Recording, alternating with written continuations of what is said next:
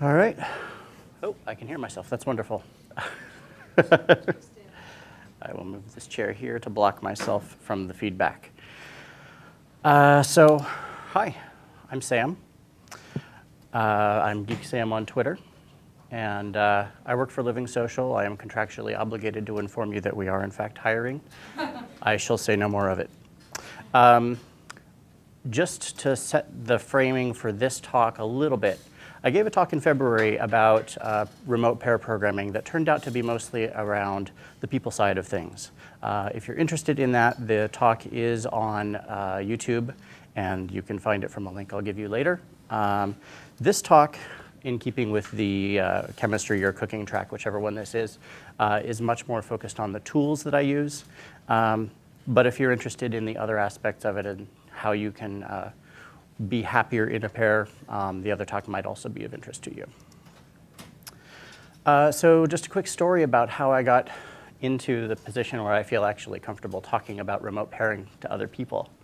Uh, at my last job, we did a lot of uh, pair programming, but it was all in one office here in downtown Portland.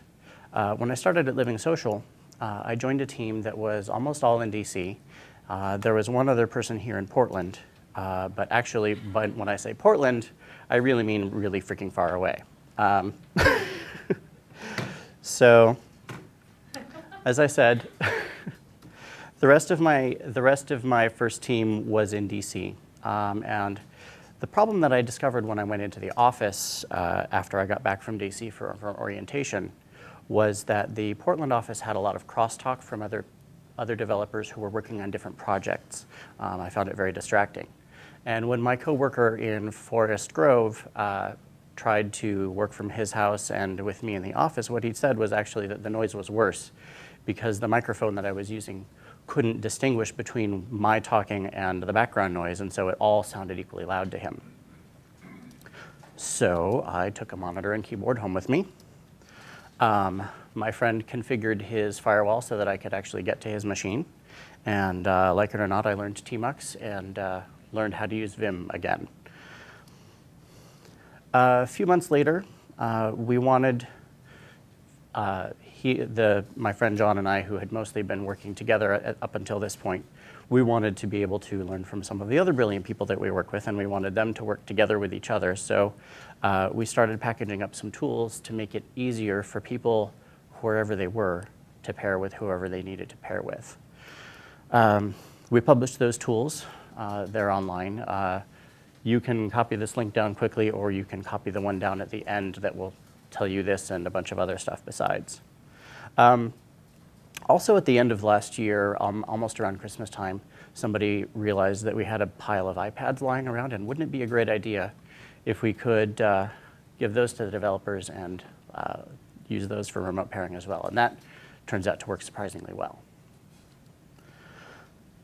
Um, and I will talk about uh, why we chose the setup that we chose, uh, but there are a whole bunch of tools that are out there.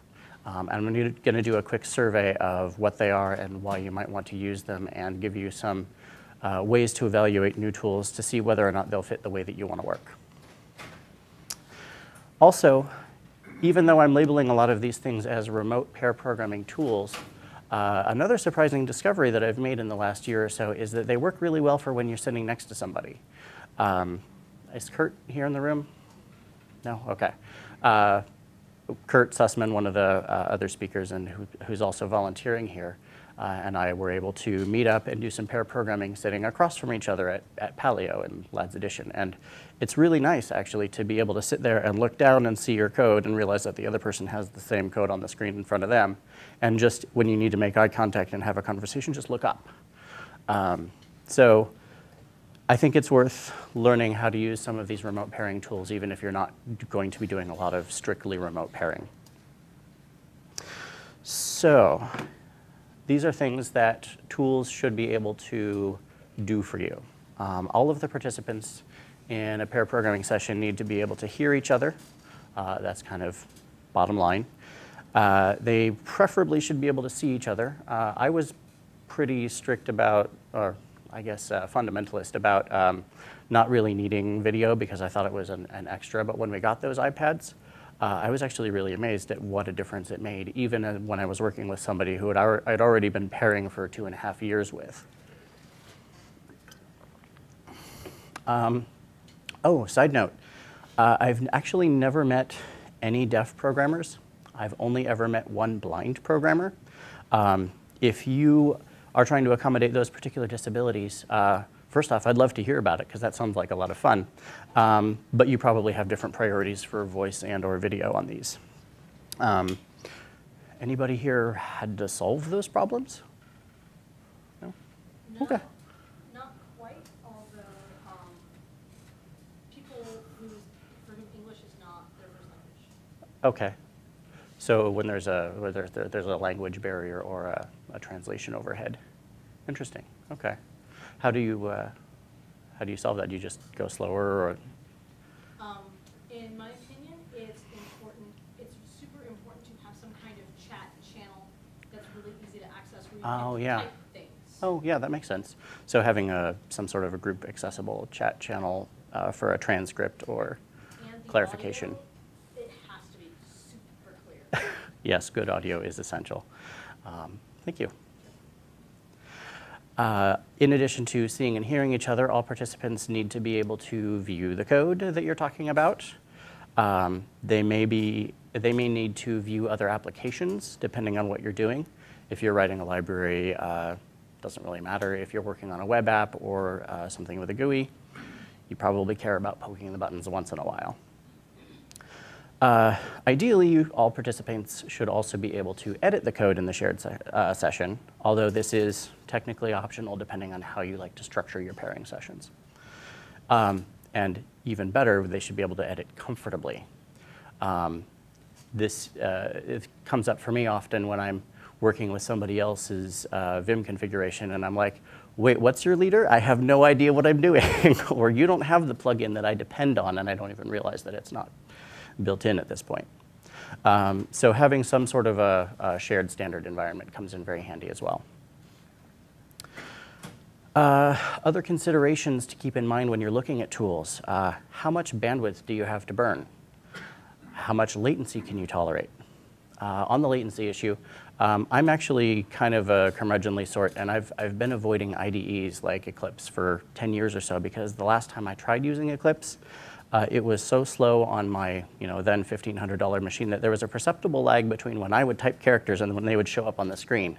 And this was just on my local box, and it was infuriating, and I was like, oh, can't do this. so I will actually reject a tool if it's too slow. Uh, your mileage and tolerances may vary, but it's something to keep in mind. Also, an important thing to keep in mind is how many people are in your pairing session. And I, I know I say pair, and that implies two in English, but um, for the last month or two, I have regularly been pairing with three and sometimes four people in the same session. Um, and some tools just don't do that. So that's something to, to pay attention to. Um, also, uh, this is sort of related to the comfort and uh, standard accessible environment uh, before, but there's also the question of physically, like where is the code? Uh, where is the running processes that you're working, that you're working with? Um, this comes up later when we're talking about some of the cloud-based solutions. Uh, and some of those will get you in trouble with your security team if you have one. Um, another, thing, another question is how easy is it if you're hosting one or the other, how easy is it to switch back and forth? Uh, this again depends on how you like to structure your pairing sessions, but um, I like a lot of back and forth, like I'll stop typing mid-word and let somebody else finish what they're doing. Um, assuming I remember that I need to stop typing, I tend to grab the keyboard. Question? Just, just to make sure, driver is the person who is doing the main typing. Yes. Um, yeah, so the driver, you know, the, a lot of the uh, pair programming literature talks about the driver who's sitting there actually physically using the keyboard, writing the code, uh, figuring out the syntax and doing the, the sort of micro immediate thing, whereas the, the navigator is supposed to be thinking about the next test to write and so on. Uh, in, in practice, I don't use those roles uh, very much or for more than two, two or three minutes at a stretch, but um, how easily you can pass keyboard control back and forth is, is fairly important. And I covered this earlier, how comfortable is the environment for all participants? Uh, it doesn't make, it doesn't do you much good for people to be able to type if they're not willing to. Um, here are a bunch of tools that uh, I know of for doing voice back and forth uh, with a couple of notes about things like Skype. Uh, they advertise that they will support up to 25 people in a voice channel, which is interesting. Um, the two things that are amusing here are that uh, Hangout, uh, which is sold as a sort of video conferencing solution, works just fine if everybody turns their cameras off.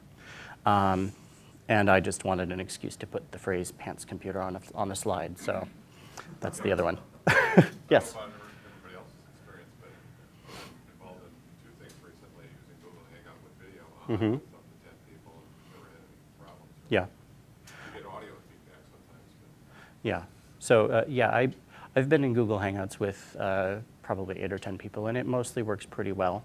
Uh, it tends to turn my fans on a little bit because it generates a fair bit of heat. Um, but yeah, it does it does work reasonably well. But if you're bandwidth constrained um, and you don't necessarily care about video, you, uh, that's not something that you want to spend some some bandwidth on. You can turn it off. Um, the other thing that's nice about Google Hangout is that it is very, very tolerant of people coming in and out. Um, Skype, sometimes when, the, when somebody clicks hang up, everybody gets dropped, and that can suck. Options for video, again, Skype. I used to use iChat. Uh, it pretty much uh, has fallen off the radar. Um, and again, Hangout. Uh, FaceTime is nice if you can use it uh, if the, you know, everybody has the right equipment and you're not dealing with more than one other person. Another question here. Uh, Have, I was wondering whether anyone here has tried Big Blue Button. Has anyone tried. Big Blue Button? I've never even heard of it. Anyone? what is it called? Big Blue Button? Big blue button. Big Big blue button. Blue, I've heard of it, that's all. like IBM button or something? Uh, I am specifically interested in, you know, open source solutions for Mhm. uh, and so I'm looking forward to Mozilla WebRTC. Oh, okay. I have not heard that, of that either. All right. Um. Um, so for viewing and editing code, um, there are a lot of tools you can use. I've grouped them into three basic categories. Uh, Cloud-based sorcery, uh, tools that do screen sharing where they uh, scrape some portion of your desktop area and send that bitmap across the wire, and uh, terminal sharing, uh, which basically means SSH and tmux uh, or screen, I suppose, if you're really old school. Um, some of the cloud-based options are things like Cloud9, MadEye, and so on. Um, as I mentioned before, uh, your legal and/or security teams will hate them, uh, especially because um, some of these will leave bits of your code on shared servers, and they tend, at least at Living Social, they tend to frown on that sort of thing. Um, this is a, I'm sort of hand waving over these because while I think that these are going to be really cool in a couple of years, right now um, I kind of want to get work done and I don't want to spend a lot of time uh, adapting to the new thing that came out this month. Um, but I'm glad that people are working on them and uh, I, I look forward to uh, catching up in a year or two. Uh, yes, Etherpad? Etherpad. I did not put Etherpad up here. Um, Or- yeah, so like the Etherpad software, and you could install an Etherpad Mhm. on your covert server, hmm. Well, right? Etherpad Lite actually is Yeah. a Node.js project. Etherpad Lite, the Node.js project, right? Oh, okay, cool. That Uh, seems like something where you could just install one on your corporate server. That's really an interesting idea. Uh, do you? Yeah. You probably, we could make a syntax plugin by this time next year if we wanted. right, and will it support all of my snippets? And like, I'm, I'm a TextMate guy. Um, Really useful thing with but yeah. Etherpad Lite in both, in two different contexts again, is having an agenda for a meeting. Hmm, yeah. put Notes in it, and then you can throw it off on Wiki or, you know. yeah. Certainly for the Portland Ruby group, um, people have tended to open an Etherpad document and share notes in there, which is really nice. Anyway, Um, just wanted to throw that so- in. And also Etherpad. You're not gonna be able to run the code, right? You'll have to like copy paste it somewhere else and then. That's true also, yes. It's, yeah, it's not the best solution for everything, it just, I just wanted to kind of put it on. Yeah. Um, a coworker of mine was playing with Floobits the other day, and apparently, I have not looked into this, but apparently it may support multiple editors, which is another of the problems that I have with some of these category of tools like CoVim sounds really neat, but it basically lets my Vim instance talk to your Vim instance and share the same state, but you still both have to know Vim. So if I want to pair with somebody who's using Emacs or TextMate or something else, then you know everybody has to, somebody has to be out of their element. Um, and it, sometimes that's what it takes. But uh, if I can avoid that, paying that cost, I get that much more brains available to talk about the code, which is often problematic too. So. Um, screen sharing, not much to say about these. They pretty much all do the same thing. They uh, grab a portion of your screen, send the bitmap over the wire, which is sort of inherently slow. Um, and as mentioned earlier, this tends to introduce some lag between when I hit the keys and when I see the effects of hitting those keys, which means that if, if I'm sufficiently fast at my typing, I can get further and further ahead and then make some tragic error and then train wreck. And Google Hangout has screen sharing. Google Hangout does have screen sharing. It doesn't have shared editing as far as I know. So all of So. shared editing? Uh, Screen Hero gives you actually multiple mouse cursors, which is kind of fun. Um, and yes, I, well, Skype may not give you uh, remote control either, but I think the rest of them do. So yeah. Um, also, uh, JoinMe is particularly good. Uh, so JoinMe is one of the products available from uh, LogMeIn, uh, and it's particularly good at getting around firewalls, which I like a lot. um, last category is terminal sharing tools. Um, the thing I like about these is that they, they tend to consume very little bandwidth, and so they respond very quickly. Um, and for me, I value responsiveness highly enough that I'm willing to go back and learn a you know 40 year old editor um, in order to use them. I saw that, Ken. so there are two variants of, of this setup. One that I use is uh, I have my development machine you know, environment set up on my laptop, and I tell other people, come to my machine, we'll share the session on my machine. And so when we run the tests, it's my lap that gets burned. Um, another variant of this is uh, everybody connects to something somewhere out there in the cloud. So that's sort of a really fast overview of like the kinds of things that are out there. Um, as for what I usually use, uh, it depends. Um, if I'm pairing with somebody for an hour or two, um, I will just use whatever we can agree on. You know, if you know they'll list their set of tools and I'll list my set of tools, and when we find the first thing that intersects, I'm like, let go, do that. Um, for some of the work that I've been doing uh, in my day job, uh, we find that with people in different time zones, there's different meetings and lunch times, and so if there are a couple of us who all want to get a peek at some area of the code that we're not familiar with, uh, and some people are going to drop in and out, um, then I will use Hangout preferably because, as mentioned, it's really good at letting people come in and out as, as needed. Um, and I will set up LS pair, which I'll talk about in a, in a few minutes. Um, if I have the luxury of the same pair partner for a couple of days, weeks, or months, um, uh, then I will tell them, hey, you need to get an iPad if you don't already have one. Um, tell them how to talk to uh, the IT department to get theirs, uh, and then uh, set up FaceTime and uh, use LS Pair. Um, LS Pair is basically a wrapper around uh, WeMux, which is itself a wrapper around TMUX. Um, as I mentioned before, it's the most responsive option, and I actually boost that a little bit by uh, tweaking my router. Sorry. Okay, sorry. Um, I completely skipped that whole slide. Nice. Sorry about that. And now I'm totally lost. This one, this is. the This one. This is, the, okay, thank you. All right. Um, it was visible. Sorry about that. Got lost, tripped over myself. Um, so uh, I did set up my router to prioritize SSH traffic so that uh, I could be assured, assured that even when somebody else is watching Netflix, I can still pair.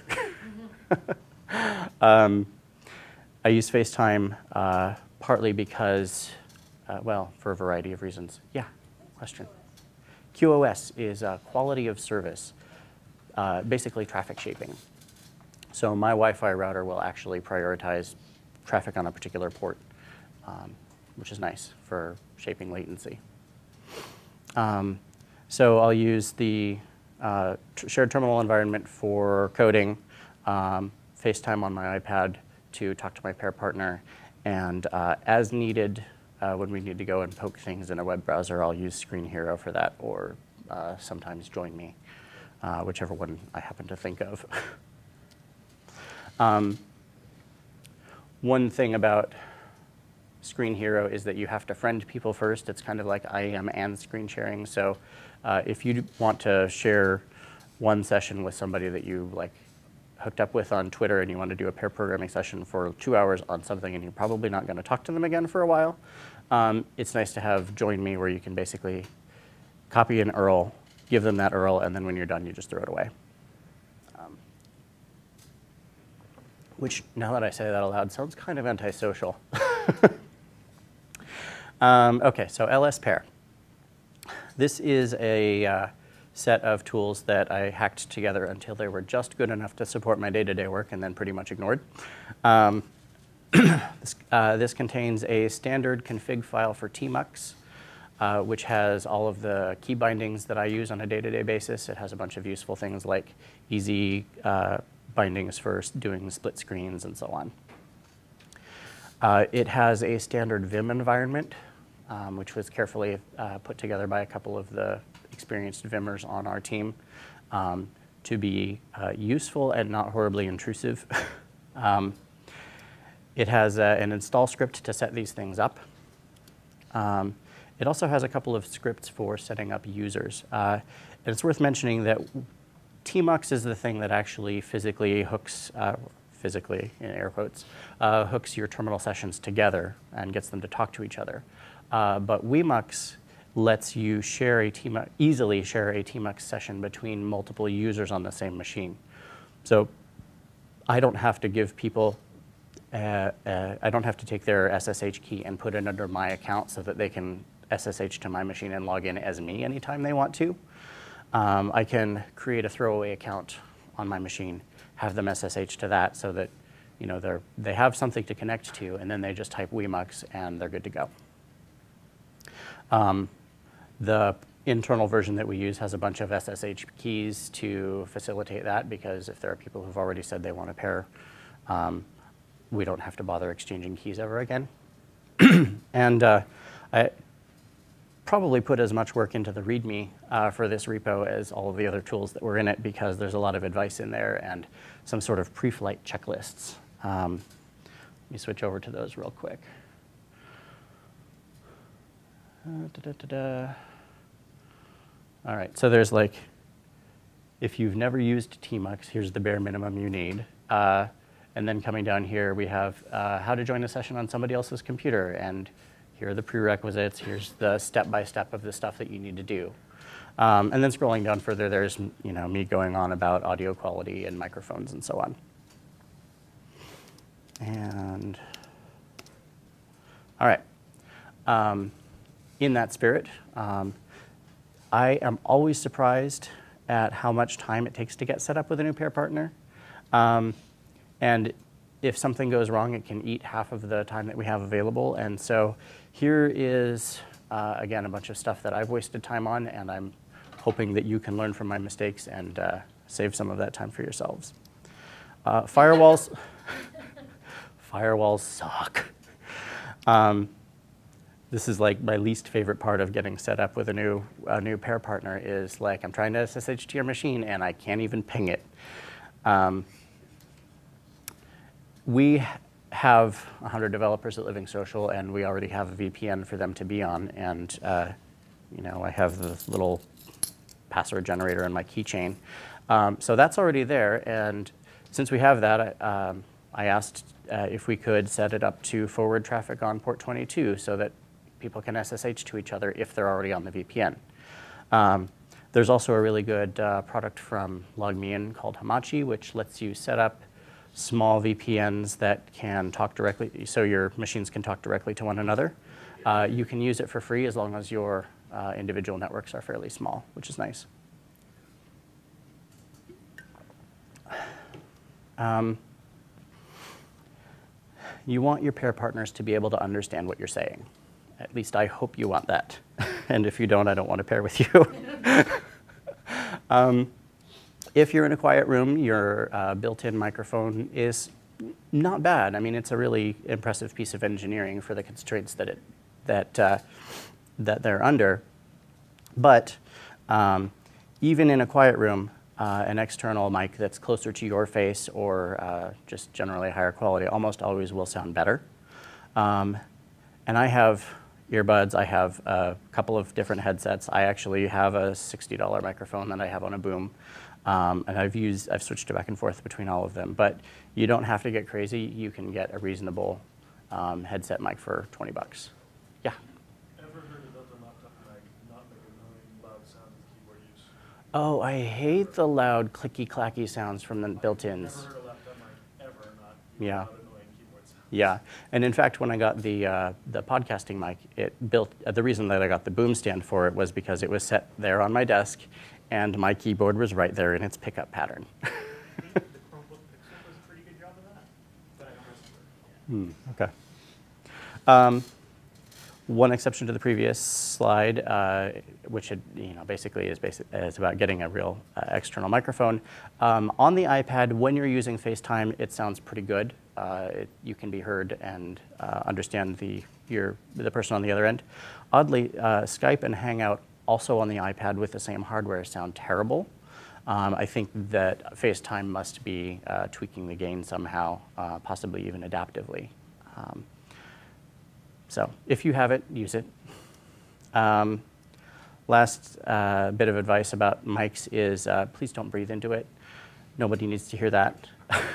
um, if you want to hear what your pair partners will hear and you have a Mac, there's an app called LineIn. Um, if you have a better microphone, you can actually plug your headphones directly into it and it will uh, let you monitor your own audio and they will also handle the uh, software audio so that you can hear both yourself and your pair partner, which is pretty nice. Um, one caveat about Google Hangouts, uh, it will automatically mute you if it thinks that you are typing. I don't know why. um, which is like what you do in you're pair programming, right? You talk and you type, and sometimes you even talk while you're typing, and yeah, uh, terrible. Um, if at all possible, I like to run my video on separate hardware. This is one of the reasons that I use an iPad. Uh, it doesn't steal CPU from your work. I've had somebody who was talking and then just started getting all choppy, and we were asking him, hey, what's going on? What's going on? What are you saying? He's like, oh, sorry, I tried to run the test suite. um, Hangout will easily eat uh, half of one of my CPUs. Um, it also will eat uh, valuable real estate on my desktop. Um, and so video uh, on my development machine is likely to be moved around, uh, covered up by other things. Um, and when I move it around, one thing that happens is that uh, it goes somewhere else relative to the camera. So to the person on the other end, it looks like I'm looking over here when I think I'm looking directly at them. It sort of messes with your uh, built-in perceptions. Um, and if you keep the in incoming video, this is one of the things that I discovered with the iPads, is if you keep it in the same place, um, if you keep it always visible, um, and if you keep the video close to the camera, then it helps uh, create this illusion that it's not hardware anymore. It's just a little window that lets you talk to somebody else who's a couple thousand miles away. And that's really cool. Um, uh, it becomes a telepresence device, uh, which is really about supporting primate bandwidth. Um, technically, an experienced pair can do everything they need to do with a shared terminal session and maybe an occasional instant message, uh, but that sucks. Um, and uh, one of the best things about pair programming for me is that when you get stuck, and you will get stuck, you can step away from the computer and you can talk things out. Um, and every step up on this table, uh, I think, gives you an, an, order of magnitude more human bandwidth to communicate with. Um, and uh, there's more about that, that aspect of pair programming in the other remote pairing talk that I mentioned earlier, uh, which leads to resources. Um, I have exactly one link for you because everything else that I might recommend somebody uh, listen to or watch about remote pair programming is here.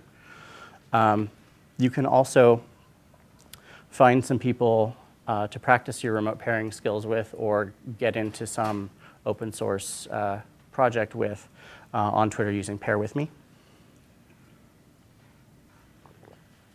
And at this point, we have about 14 minutes left, it looks like, according to my clock. And uh, you guys get a choice. We can stop, do some Q&A, we can get into some uh, cross conversations, um, which I think would be really fun, especially if some of you have experiences with remote pairing. Um, or if you just came here for the train wreck, we can go to that. Could you describe the train wreck? The train wreck, um, the train wreck is, uh, as mentioned, I've had uh, regularly had uh, two, three, four people in a pairing session, and at one point at a at a Portland Ruby beginners meetup, I was showing off my pair programming setup, and I had seven or eight people, uh, all in the same terminal session in my in my laptop, and I started thinking, I wonder how many people I can do this with. so, if you would like to participate, I've actually set up an EC2 node um, that you can all SSH to, and we can see how many of us it takes to crash either the EC2 node or I, what I think is going to happen is we'll crash the Wi-Fi.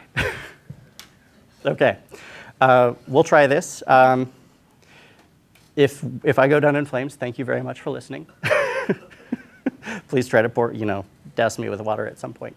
Um, all right, so let's, uh, let's attack TMUX. So uh, one thing I will say before I have you all uh, get uh, join me here. Uh, TMUX is a really interesting tool. Um, I put together about a 10-minute screencast that if you've never used it at all and have no idea what it's for, uh, this should get you at least a conceptual framework to get started with. Uh, that is also linked on the Pair Program With Me site. Um, the thing that you need to know about this today is that TMUX limits uh, the terminal size to the lowest common denominator of every terminal that's attached to it. So, oh, thank you, Ian. I see you're on your, your iPad, so this will be exciting. Oh, it's fine. I mean, the thing is, like, It cannot work in small sizes, it's it's not like we're going to be doing anything. Um, I just want to tell you, like, my usual practice when I have people join me is I tell them, okay, make the window as big as you can, make the font size as small as you can stand it. Now join me, because otherwise, you know, otherwise I get this little postage stamp on my 27-inch monitor. So uh, please embiggen your terminal windows. What was that? Just told us all how to torture you. I oh shoot. Okay, the trick is the trick is not to care. The trick is not to care. I will channel my inner Marcus. okay, so as mentioned, uh, embiggen your terminal. Uh, here is a URL you can go to, uh, timestream.net slash osbridge dash pair. Um, at least until I get back to somewhere else and take it down, there is a script there, foo.sh. Uh, is pair.sh? Uh, it's foo. Here, I'll show you.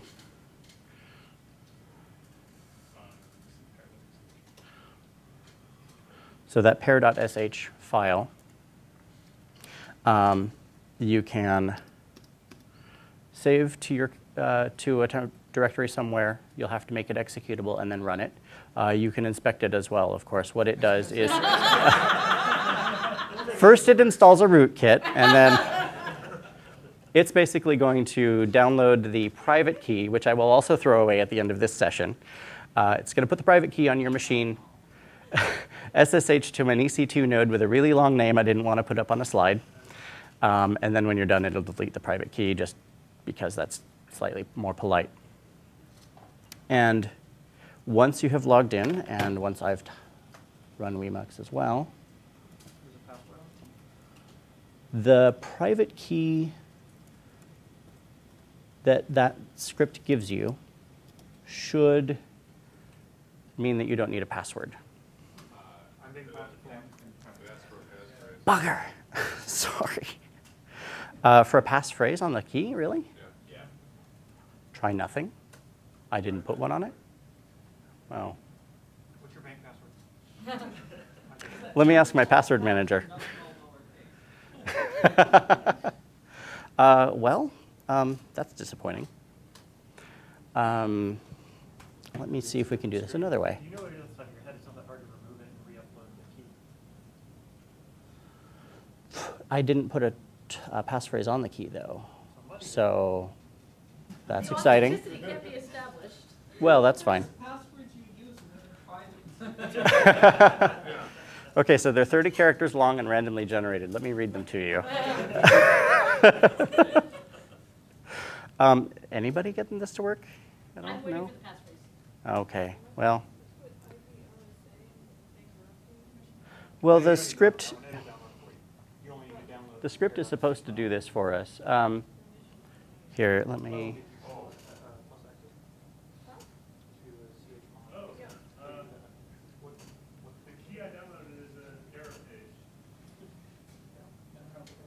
Oh, because I'm an idiot and I changed the URL. Thank you, Brian. problem we're running. You're reading a slightly different. All right.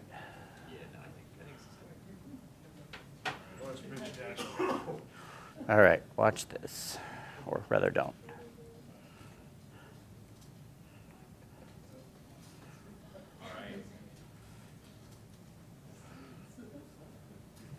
So what should we already Try now. Should, should we re-download pair.sh? Rerun the rerun foo.sh Or oh, just rerun it? Okay. because I've just copied I copied the key into the right place this time. Okay. How do we kill it? Run too much. Okay, I see at least one person has joined me because I see uh, a Oh, pair person in here. We should run wemux? So what do you- Yes, once you're in, you should run wemux. Let me put the slide back up.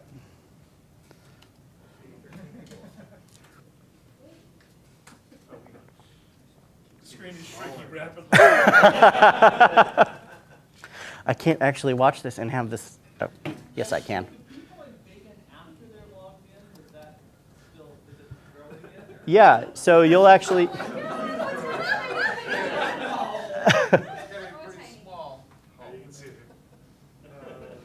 All right. Here, I'll put this. Up, I'll put this up on the screen. So somebody drag your window around and make this smaller, and we'll like we can actually see it. You have to drag it so that it's smaller than the the currently smallest Someone just did window. Okay. Okay. Oh yeah, there we go.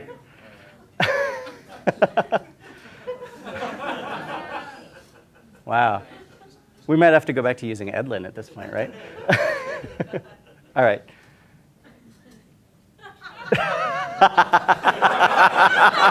Drop all tables. Thank you, Bobby Tables. I did not realize you were in the audience.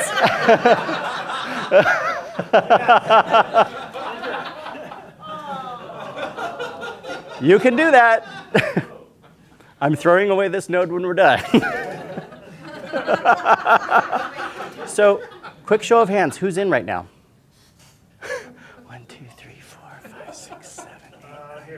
10, 11, 12, 13. At least 13.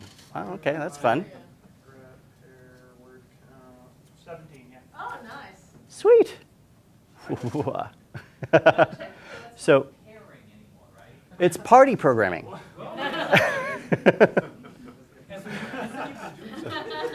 yeah, yeah. So how do you do that? So I've so how have I been doing sessions with three or four?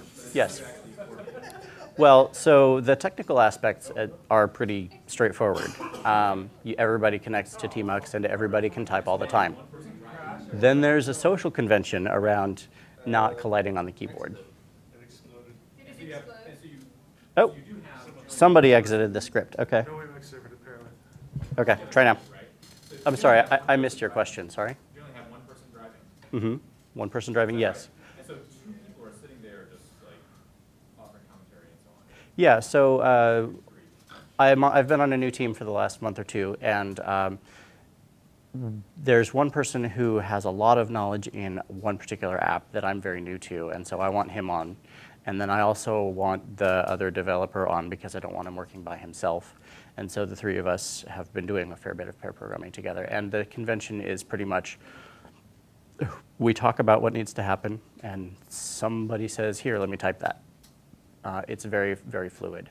Um, if you want a bit more of a formal process, um, then you can do sort of a ping pong pairing and you can do it round robin.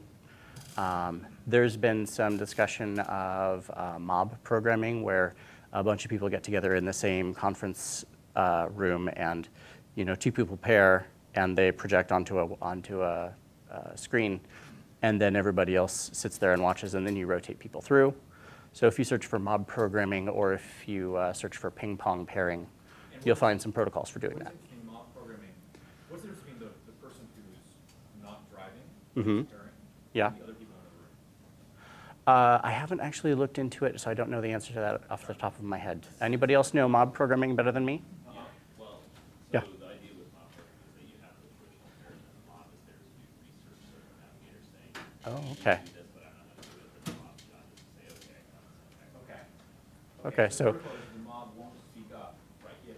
yes, right. So if I can get this down for posterity as well, uh, what, it sounds like what you said was when you're doing mob programming, there's the two people pairing, and then the, the rest of the people in the room, room are doing research on questions that come up.